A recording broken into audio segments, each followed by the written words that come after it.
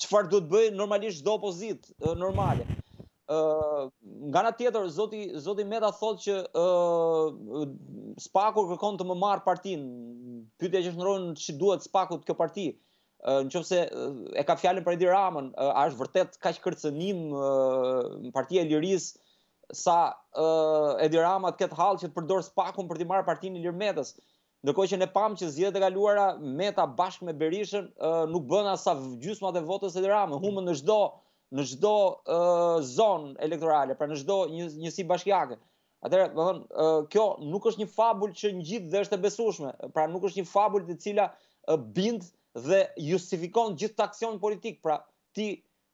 ke ngritur gjithë këtë tymnajë, një furtunë në gotë, sepse në fund fare po po sulmon një prokuror, nuk po sulmon kundërshtarin tënd politik dhe po thua që ky ky prokurori po kërkon t'i shërbejë kundërshtarit tim politik ndërkohë që s'po bën luftë me kundërshtarin politik, po po bën luftë me zgjatimet e tij, nëqoftëse janë vërtet zgjatimet e tij. Gjitha këto tregojnë paqartësi të zotit Meta, tregojnë që që partia që zoti Meta po drejton ka një hall dhe halli nuk është ai që zoti Meta thotë. Ose më saktë, zoti Meta në fakt e thotë, por pavarësisht se nuk e pretendon të jetë ky halli.